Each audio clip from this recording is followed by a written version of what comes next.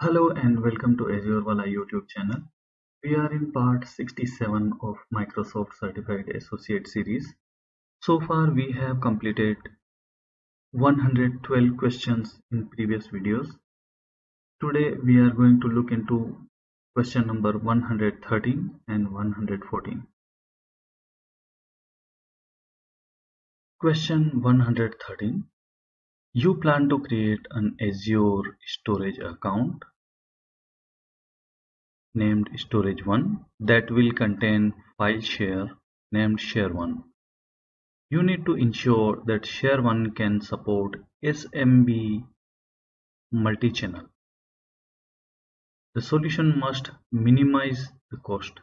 How should you configure the storage? Let's go to Microsoft uh, documentation site to understand the SMB multi-channel in detail. We are on Microsoft documentation site and the page talks about SMB multi-channel performance. So let's scroll down. SMB multi-channel enables an SMB3 client to establish multiple network connections to an SMB file share. Azure files support SMB multi-channel on premium file share. So this is limited to premium file share account types only for Windows client.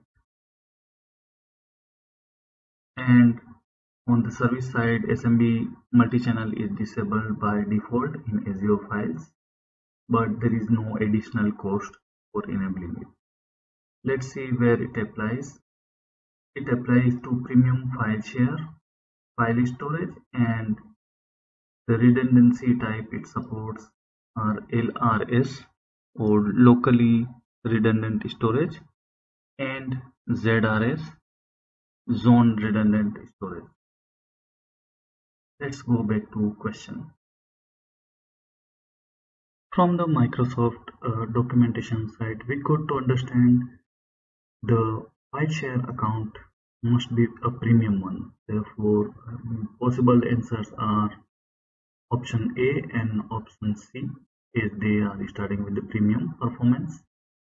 And further, file share account type supports LRS and ZRS. So in the option A we do have LRS, but in options C we do have GRS which is not supported and definitely option B is the standard and option D is standard.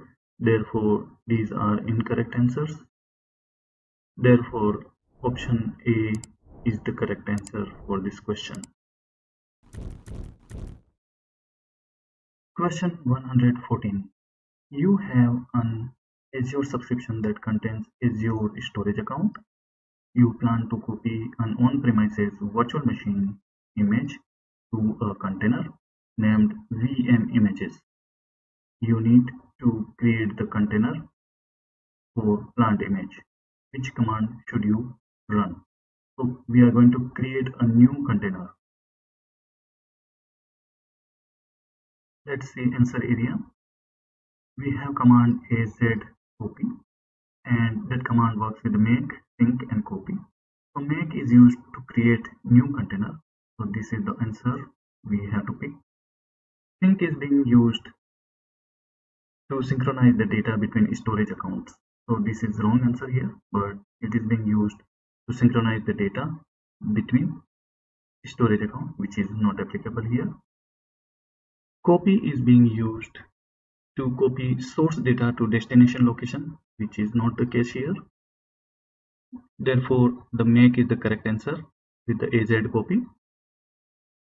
We need to select resource url along with az copy make command. So we have the url where we do have the storage account name and then the service account service we need to select three services are available along with az copy make command. First is blob second one is file and third one is dfs only. So we need to select one out of these three available. Storage service options. And then core.windows.net and the container name. So this is the container name so the first container service which is the blob can be used to store text and binary data. Therefore we can store the virtual machine images as well in this storage service.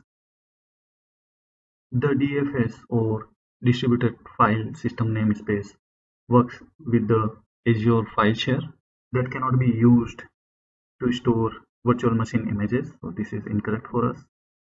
And the third option azure file share or azure files is used to organize file shares for cloud or, or on-premise deployments so therefore this also cannot be used to store virtual machine images therefore the answer for this question are make command which can be used to create the container and blob which can be used to store virtual machine images. I hope this video was informative for you. Please hit the like button, subscribe to my channel, press the bell notification icon. Thank you for watching this video. See you next video.